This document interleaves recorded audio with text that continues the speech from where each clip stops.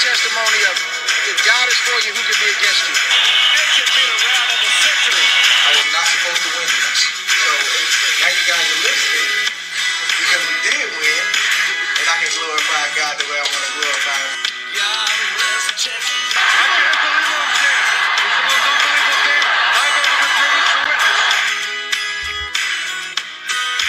Welcome, welcome, welcome. Uh, welcome to another episode of 3D Boxing Blog Podcast on YouTube. It's good to be back. I know it's been a while. Um, it's really good to be back. Uh, a lot to get into. I want to explain where I've been. You know, I've been busy with MCR podcast. I'm still doing that. Hopefully, me and Matt should be back uh, with the show either Saturday or Sunday. Um, this isn't um, in place of that. This is in addition to that.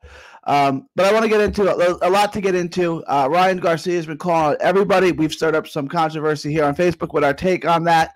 Uh, check out the article on 3D Boxing Blog where we break down um, Ryan Garcia's next fight, uh, which everyone is thinking it's going to be against Linares. Although uh, Linares is not in this country. Um, I don't know with the pandemic if he's going to be allowed to travel, how much of a headache that is. Um, that fight's just a month and a half away now, July 4th.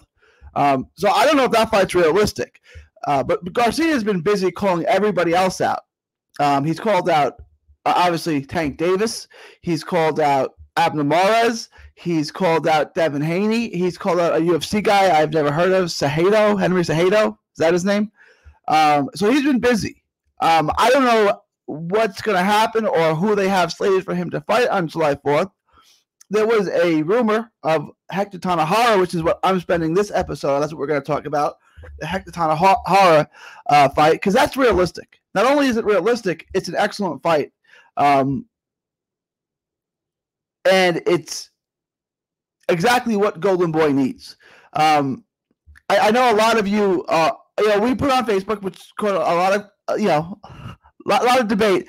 We, that Tanajara would win that fight. Um, it's Golden Boy's two lightweight prospects. Lightweight is the absolute most blue chip loaded division in boxing right now. There's so much young talent. Um, you know, that's a division that even a guy uh, like Omar Juarez is going to go back down to, right? He fights at 140 now, um, but we've been told several times that 140 is not a problem, neither is 135.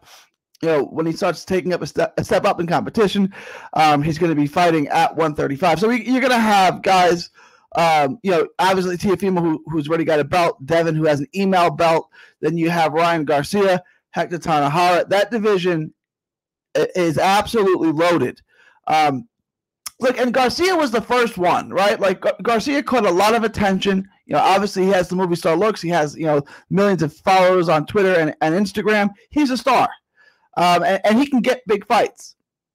He hasn't really beaten anyone of note. Like in reality, his best win at this point still kind of is Jason Velez. Um, he's got wins over Dano, Ramiro Dano, who is really nobody, and then Fonseca, whose best wins are losses to Tank Davis and Tevin Farmer. I, I mean, this is he doesn't have a great resume. His resume really isn't any better than Tanajara. And you're going to say, who did Tanajara beat? Well, Tanajara just beat Juan Carlos Burgos, former world title challenger, good fighter. Um, it's Burgos is also the best name on Devin Haney's resume, and Devin Haney has an email world title. But he's also got wins over Delgado, who's a tough guy. He's got a, a, a win over a guy named Robert uh, Manzanares, who's 36 and two. He's got wins over uh, Roger, Gut- Roger Gutierrez. He's got a lot of wins. Um, he hasn't for a guy who doesn't have a lot of limelight, a lot of fanfare in Tanajara, he hasn't been matched very easily. Um, so when we talk about their resumes, there's not that much different.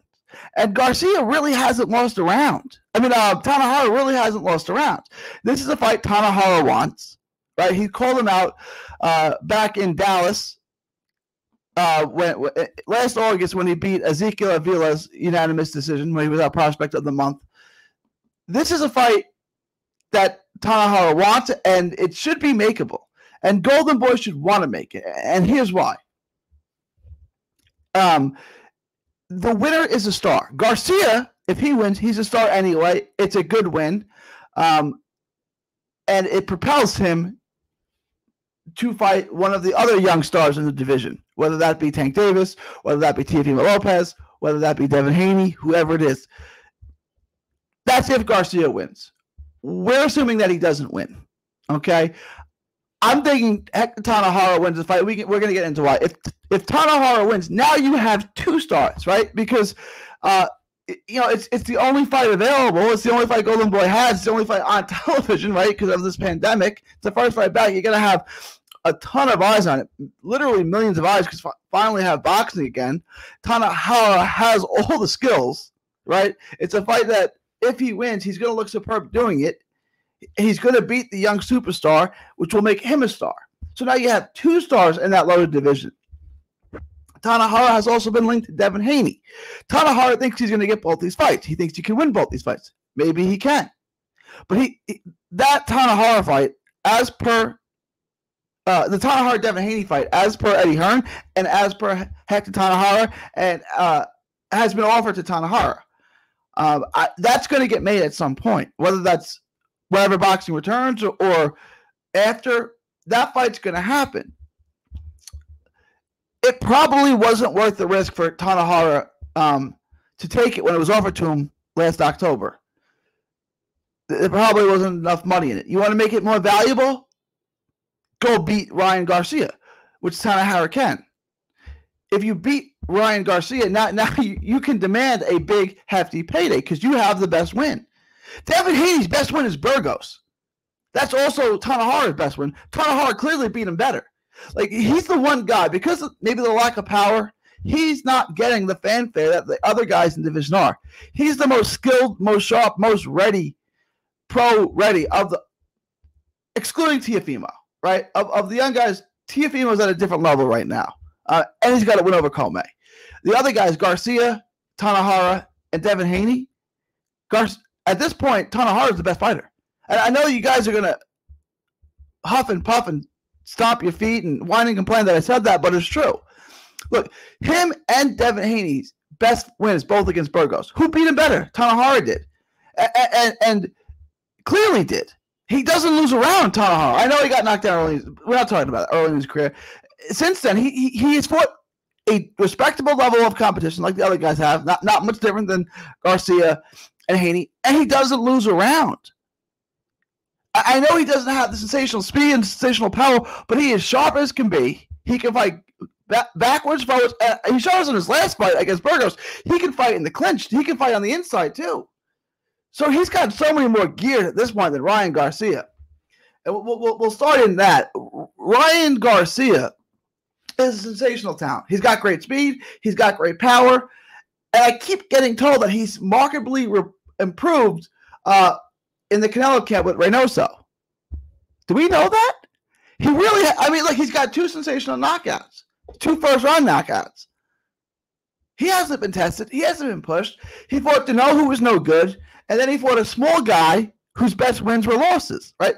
He fought Fonseca, whose best win was getting outclassed by Tevin Farmer at 130. Then he moved up to 135 and got blown up by a much bigger guy. I I mean, that's not an impressive win.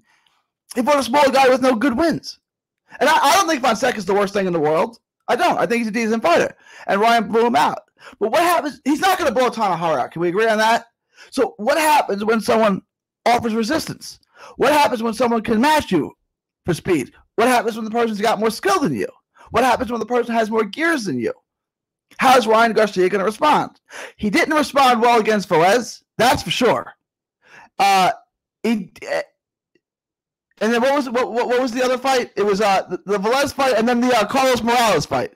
He didn't respond well in either of those fights. Those were back to back, and then they took big steps back with them. Those that was back in in 2018. Wow, the Velez fight was two years ago. Like, I'm not saying he hasn't gotten better, but that's still his best win. And then he looked even worse in the Carlos Morales fight, and then they backed him off a little bit. He wasn't ready for prime time. Then I, uh, and those guys don't have an eighth of the skill that Tanajara has. So if he struggled with those, yes, he's better today. But how much better? I don't know. He hasn't really been tested. He fought a bunch of nobodies, and then he blew two guys out. Unless you think he's going to blow Tanajara out like he did to Fonseca, that Fonseca fight doesn't show us anything other than he has good power and three, which we already knew. I want to make this comparison um, with Ryan Garcia. And if you guys are basketball fans, you'll get it. Zach LaVine plays for the Chicago Bulls. super explosive, right? Great athlete, great first step, and can blow past you and dunk on you at will. What happens when he can't blow past you? What other gears does he have? Well nothing. That's all he can do. If he can't blow past you, he can't do anything. That's kind of how I see Ryan Garcia at this point. Yes, if he can't outclass you, there's not much he can do. And we saw that with the Velez and the Morales fight. Now, maybe he's gotten better, but we haven't seen that because he hasn't been tested yet. Because after that, he fought subpar competition. And then the two fights he stepped up on, he blew both guys out. So we don't know how he's going to respond when someone can match him for craft. Right? And and Velez and Morales aren't superb craftsmen who are super sharp like Tanajara.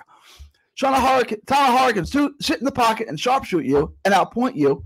All right, he's pretty physically strong.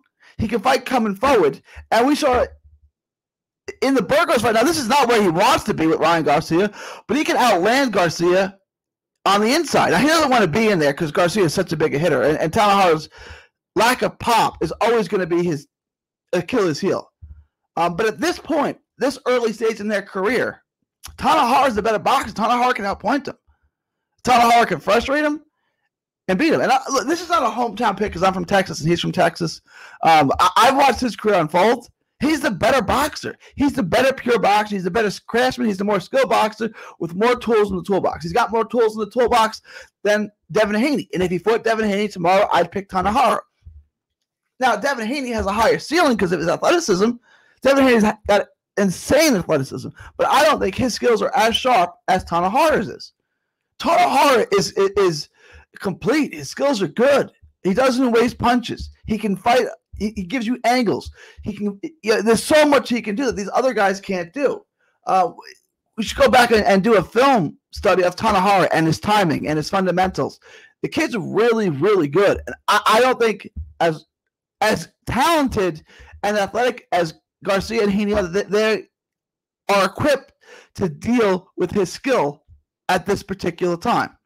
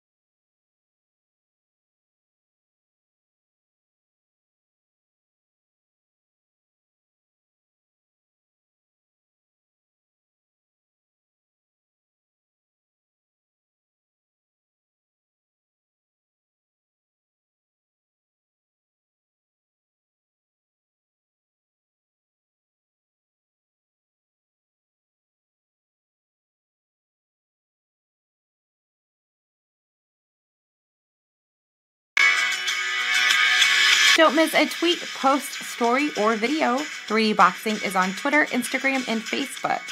Hit the subscribe button now to stay inside the ring.